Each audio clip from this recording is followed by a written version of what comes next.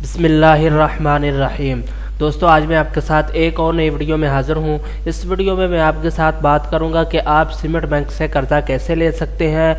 और इसकी डिटेल क्या है, आपने किसी भी स्टेप को मिस नहीं करना।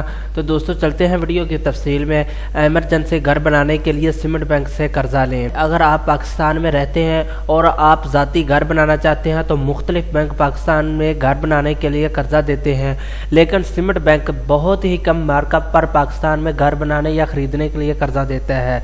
तनख्वाहदार लोग, छोटे कारोबारी बिजनेसमैन अमीर गरीब सब लोग कर्जा लेकर अपना घर बना सकते हैं।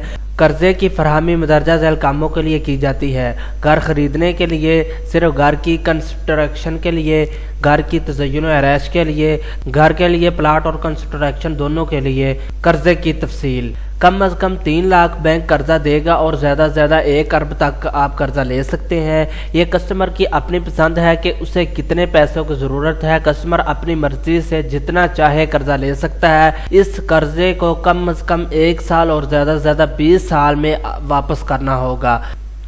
मार्कअप, तनख्वाहदार आदमी छः महीने में किबर 400 प्लस बीपीएस देगा।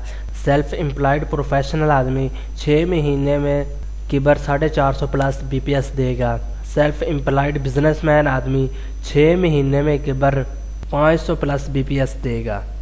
कस्टमर कम अज़ कम पंद्रह फ़ीसद डाउनलोड पेमेंट देगा और ज़्यादा से ज़्यादा जितना चाहे डाउनलोड पेमेंट दे सकता है।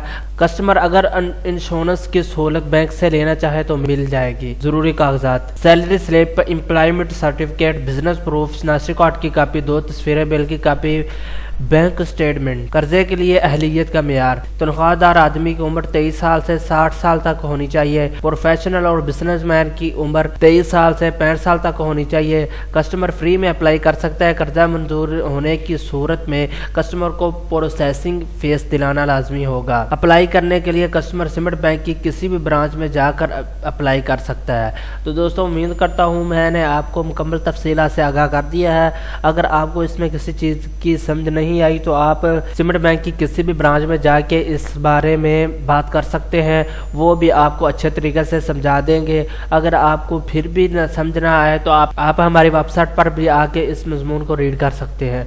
तो दोस्तों, उम्मीद करता हूँ आपको ये वीडियो पसंद आई होगी। इस तरह की अच्छी अच्छी वीडियो देखने के लिए हमारे चैनल को सब्सक्राइब कर लें।